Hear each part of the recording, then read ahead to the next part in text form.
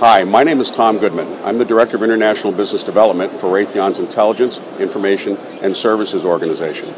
We're here at IDEX, and we're talking about some of the capabilities that Raytheon offers to the region in the area of cybersecurity. We bring a wealth of capabilities in the area of defensive cybersecurity solutions. We focus on protecting the operational environment that you see in today's industries, whether it's financial services, whether it's energy, whether it's government what we do as an organization is we partner with the various ministries, private sector organizations, and we help them identify where they can best apply the different types of protections that are needed to help ensure that organizations can continue to be effective, can manage any level of cybersecurity risk that they encounter, and be able to operate through any kind of a cyber challenged environment.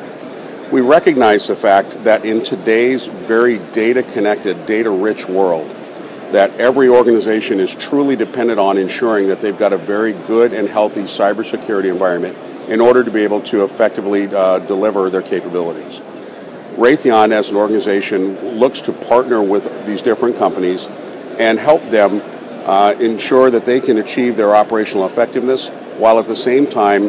you know, being able to contain the costs and being able to, at the end of the day, deliver what they need and what they've promised to their customers.